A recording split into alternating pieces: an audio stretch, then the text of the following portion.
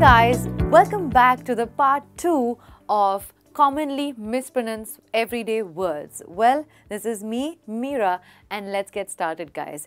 इसका मैंने आपके लिए एक पार्ट वन भी बनाया है जहाँ पर आप जाके कुछ और वर्ड्स के प्रोनाउंसिएशंस भी सीख सकते हैं well, आज मैं आपके लिए और नए प्रोनाउंसिएशंस और नए वर्ड्स लेके आई हूँ well if you ask me guys personally अगर आपको आपके प्रोनाउंसिएशंस ठीक करने हैं तो इसको मेरे साथ जो भी हम वर्ड सीखेंगे, उसको रिपीट कीजिए और उसको सेंटेंस में एक सही फ्लो के साथ बोलने की कोशिश कीजिए। ऑटोमेटिकली इसका जो प्रभाव है, इसका जो इफ़ेक्ट है, वो आपकी लैंग्वेज में डेली लैंग्वेज में ज़रूर पड़ेगा। Let's get started today's first word is this इसका करेक्ट प्रोनाउंसिएशन है leave repeat it after me guys leave double E V, leave थोड़ा सा लॉन्ग प्रोनाउंसिएशन है। इसको लिव के साथ कंफ्यूज मत कीजिए, वो एक कंप्लीटली अलग वर्ड है। For example we have to leave two hours early for our flight we have to leave two hours early for our flight I hope आप मेरे साथ रिपीट कर रहे हैं, ताकि आपका प्रोनाउंसिएशंस भी मेरे जितने करेक्ट हो जाए। Let's take a look at the next one this word बताइए, ये सिंगुलर है या प्लूरल है? It is plural guys correct well plural word का प्रोनाउंसिएशन है वे मिन वे मिन वेमेन और इसका सिंगुलर वर्ड का प्रोनाउंसिएशन है woman woman women is plural, woman is singular. For example, there are so many women fitness influencers these days. There are so many women fitness influencers these days. Okay guys, आगे बढ़ते हैं. Next word है ये. इसका correct pronunciation कुछ इस तरीके से है. Here. That's right. यहाँ पर R का pronunciation नहीं है. Here. For example, I can't hear you clearly. मुझे ठीक से सुनाई नहीं दे रहा है। हिया अगला वर्ड है ये। टेल मी आप इसका प्रोनाउंसिएशन कैसे करते हैं? वाइडियो वीडियो किस तरीके से? वेल well, इसका सही प्रोनाउंसिएशन है video video video let's put it in a sentence okay repeat कीजिए मेरे साथ। I learn so much from Learnex videos videos got it very good आगे बढ़ते हैं। अगला वर्ड है ये, और इसका करेक्ट प्रोनाउंसिएशन है कॉमेंट कॉमेंट ये जो साउंड है, उसको हम ओ ओ इस तरीके से प्रोनाउंस करते हैं। और इसका करेक्ट प्रोनाउंसिएशन क्या बनता है? Comment example we like reading your comments और ये सच बात है, हमें आपके कमेंट्स पढ़ना बहुत अच्छा लगता है। Comments almond what is the correct pronunciation almond almond यानी जो एल है, वो साइलेंट है और करेक्ट प्रोनाउंसिएशन है almond for example we eat four almonds a day आप कितने आमंड्स खाते हो? बताइए। Almonds, not almonds. All right.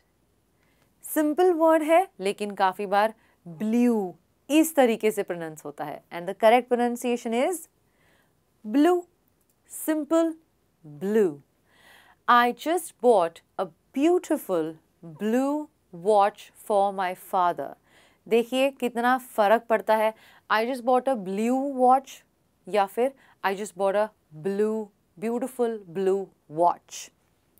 Next word is this. Carrier. काफ़ी बार कैरियर हो जाता है। द करेक्ट प्रोनाउंसिएशन क्या है? सही प्रोनाउंसिएशन क्या है? ख री करियर करियर करियर आप अपने करियर में क्या करना चाहते हैं? Career I want to be successful in my career सबकी इच्छा होती है right career successful in my career that's right guys well done next is this word काफ़ी बार इस वर्ड को टेबल इस तरीके से प्रोनाउंस किया जाता है। The correct pronunciation is table आप ये ए वाई देख रहे हो? इसका साउंड है A table table we have to buy a new table और राइट ये वर्ड बताइए. कंफर्टेबल कॉम्फर्टेबल किस तरीके से प्रोनाउंस होता है? इसका सही प्रोनाउंसिएशन है खम टेबल खम टेबल कंफर्टेबल बोलिए comfortable for example this table is so comfortable to work comfortable not comfortable r का sound है ही नहीं comfortable that's right guys next is this hotel hotel hotel repeat कीजिए मेरे साथ hotel for example our hotel stay was very ध्यान से comfortable. Our hotel stay was very comfortable. Wonderful guys. इस word को लेके काफ़ी सारा कन्फ्यूज़न है। काफ़ी सारे लोग इसको एक बहुत डिफ़िकल्ट तरीके से प्रोनाउंस करते हैं। लेकिन आप, मैं आपको, आज मैं आपको बताऊँगी इसका सिंपल और करेक्ट प्रोनाउंसिएशन वो है रेस्ट रॉन्ट इन दो वर्ड्स को सेपरेटली एक बार सुनिए। रेस्ट रॉन्ट रेस्टोरेंट है ना सिंपल चलिए इसको एग्ज़ाम्पल में यूज़ करते हैं।